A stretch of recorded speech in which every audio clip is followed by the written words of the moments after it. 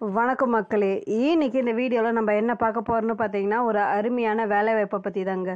உடனே நீங்கள் W W W dot new government job dot com என்ற இணையதளத்தில் உங்களுக்கு தேவையான அனைத்து வேலைவாய்ப்பு தகவலுமே நீங்கள் தெரிந்து கொள்ளலாம். இப்போ வாங்க நம்ம வீடியோக்குள்ளே போகலாம் வீடியோக்குள்ளே போகிறதுக்கு முன்னாடி இப்போ நம்ம வீடியோ ஃபர்ஸ்ட் டைம் பார்க்குற மாதிரியா இருந்தால் மறக்காமல் சப்ஸ்கிரைப் பண்ணிவிட்டு பக்கத்தில் இருக்க பெல் ஐக்கானுமே கிளிக் பண்ணிக்கோங்க. அப்போ தான் நாங்கள் போடுற ஜாப் நோட்டிஃபிகேஷன் உங்களுக்கு உடனுக்குடனே வந்து சேரும் ஃப்ரெண்ட்ஸ் அதே மாதிரி நீங்களும் நம்ம டெலகிராம் அண்ட் வாட்ஸ்அப் குரூப்பில் ஜாயின் பண்ணலையா? கீழே டிஸ்கிரிப்ஷன் லிங்க் இருக்குது மறக்காமல் ஜாயின் பண்ணிவிடுங்க இந்த ஜாபுக்கான அஃபிஷியல் நோட்டிஃபிகேஷன் கீழே டிஸ்கிரிப்ஷனில் இருக்குது மறக்காமல் டவுன்லோட் பண்ணி பாருங்கள் இப்போ வாங்க நம்ம ஜாபை பற்றி பார்க்கலாம். இங்கே பார்த்தீங்கன்னா தமிழக அரசு நமக்கு ஒரு பர்மனன்ட் ரெக்குவயர்மெண்ட்டு தாங்க சொல்லியிருக்காங்க. இங்கே பார்த்தீங்கன்னா இதுக்கான qualification eighth pass பண்ணலேருந்து tenth any degree diploma BE பண்ணவங்க எல்லாருமே அப்ளை பண்ணுற மாதிரி ஒரு எலிஜிபிள் ஜாப் தாங்க. உங்கள் இதுக்கு சேலரி பார்த்தீங்கன்னா ஐம்பதாயிரம் வரைக்குமே இருக்கும் ப்ளஸ் அலவன்ஸுமே இருக்கும். இதுக்கு வந்து உங்களுக்கு எந்த ஒரு எக்ஸாமினேஷனுமே இல்லைன்னு சொல்லிட்டு அவங்களே வந்து மென்ஷன் பண்ணியுமே சொல்லியிருக்காங்க. லாஸ்ட் டேட் சொல்லிட்டு பார்த்தீங்கன்னா அக்டோபர் பதினேழு தான் இதுக்கான லாஸ்ட் டேட் கூட. தமிழ்நாட்டில் இருக்க தேர்ட்டி எயிட் டிஸ்ட்ரிக்டில் இருக்க மெயில் அண்ட் ஃபீமேல் எல்லாருமே எலிஜிபிள் தாங்க. எல்லாருமே அப்ளை பண்ணலாம். இப்போ வாங்க நம்ம அஃபிஷியல் டீட்டெயில்ஸை பார்க்கலாம்.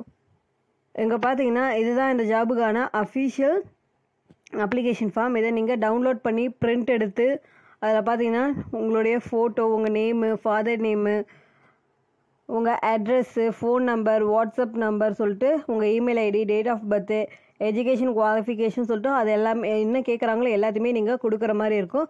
அதோட அவங்க என்னென்ன சான்றிதழெல்லாம் கேட்குறாங்களோ செல்ஃப் அட்டஸ்டட் காப்பீஸ்லாம் அதை வந்து ஒரு ஜெராக்ஸ் காப்பி எடுத்து உங்கள் சிக்னேச்சர் போட்டு அது கூடயே வந்து நீங்கள் அட்டாச் பண்ணி அவங்க சொல்லியிருக்க அட்ரஸ்க்கு நீங்கள் அனுப்பணும். அதையுமே இப்போ பார்த்துடலாம் இங்கே பார்த்தீங்கன்னா ஸ்க்ரீனில் தெரியும். அந்த அட்ரஸ்க்கு தான் சொல்லிட்டு அனுப்ப சொல்லியிருக்காங்க. அது மட்டும் இல்லாமல் இங்கே பார்த்தீங்கன்னா ஒரு போஸ்டல் கவர் வாங்கி அதில் வந்து இருபத்தஞ்சி ரூபாயில் ஒரு ஸ்டாம்ப் ஒட்டி உங்கள் அட்ரஸ் எழுதி அதுவுமே அது கூட வச்சு அனுப்புன்னு சொல்லிட்டு சொல்லியிருக்காங்க.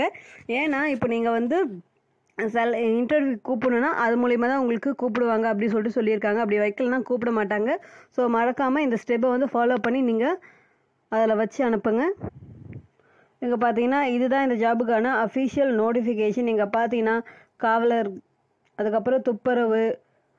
அதுலேயே உங்களுக்கு வந்து நிறைய கேட்டகரி கொடுத்துருக்காங்க. ஸோ உங்களுக்கு எதுக்கு நீங்கள் எலிஜிபிளோ அதுக்கான போஸ்டிங்க்கு நீங்கள் அப்ளை பண்ணலாம். அது மட்டும் இல்லாமல் ஒரு ஒரு போஸ்டிங் தகுந்த மாதிரியுமே பதினஞ்சாயிரத்துலேருந்து ஐம்பதாயிரம் வரைக்கும் பத்தாயிரத்துலேருந்து முப்பத்தோராயிரம் வரைக்கும் சேலரி சொல்லியிருக்காங்க. பதினோராயிரத்துலேருந்து முப்பத்தி ஆறாயிரம் வரைக்கும் சேலரி சொல்லி சொல்லியிருக்காங்க. ஸோ நீங்கள் எந்த போஸ்டிங்க்கு அப்ளை பண்ண போகிறீங்களோ அதுக்கான சேலரியை மட்டும் நீங்கள் செக் பண்ணிக்கலாம். இதுக்கு பார்த்தீங்க அப்படின்னா நீங்கள் தமிழ் எழுத படிக்க தெரிஞ்சிருந்தாலே இதுக்கு நீங்கள் அப்ளை பண்ணலாம். எலிஜிபிள் தான் உங்களுக்கு. வேக்கன்சியுமே வந்து பிரிச்சுமே கொடுத்துருக்காங்க. ஏஜ் லிமிட் சொல்லிட்டு பார்த்தீங்கன்னா பதினெட்டுலேருந்து நாற்பத்தஞ்சு வயசுக்குள்ளே இருக்கிறவங்க வரைக்குமே இதுக்கு நீங்கள் அப்ளை பண்ணலாம். எலிஜிபிள் தான் அப்படின்னு சொல்லிட்டு சொல்லியிருக்காங்க. அது மட்டும் இல்லாமல்